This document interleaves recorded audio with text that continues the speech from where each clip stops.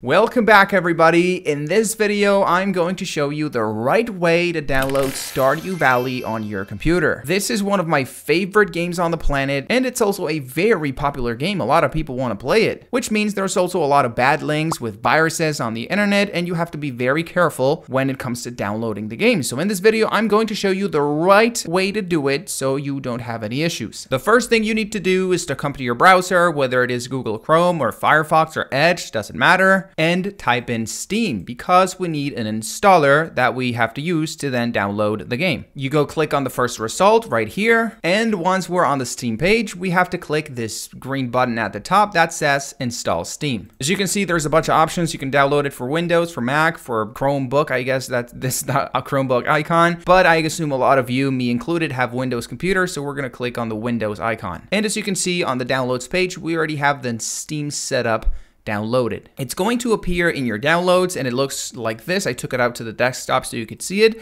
By the way, it is not the Steam app. It is the Steam Setup app so you can download and install Steam on your computer. And it will present us with a very simple setup process. As you can see, we have to choose language and we have to choose where we want Steam in our computer. I recommend you just uh, leave it as is because it, it is usually the best option. And well, once that's done, you click on install and it will start installing Steam on your computer. I'm not going to do it because I already have it on my computer, so I can't install it twice, but it's going to be a very quick process, maybe one, two minutes, depending on your SSD speed. And finally, once it's done, you'll be able to access Steam. As you can see, I already have an account. If you don't have an account, it's another minute of introducing your name, your email, your phone number, all that stuff. It's fairly quick. And well, last but not least, if you want to download Stardew Valley for your Windows computer, you just have to come to the search bar and type in star. There we go. As you can see, it's already on the on the recommended results, Stardew Valley. We click it. And well, in my case, I already have it in my library, so I have this icon instead of the download button. But you will see something like this. Buy Stardew Valley 13.99 at the cart. Once you do that, you'll find it on your personal library. Of course, you can't play it off the rip. You have to download it first. It's a fairly small game, so it's going to take maybe 30 minutes to an hour, depending on your internet connection.